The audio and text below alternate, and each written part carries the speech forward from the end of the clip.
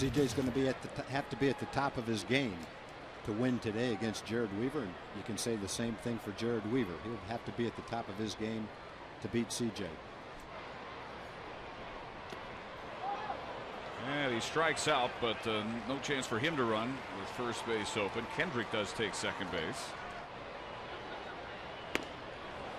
And the second strikeout here in the inning. He's only thrown one ball each of the last two innings and uh, sit down Mr. Kendrick. Two out of three to make it a five game lead.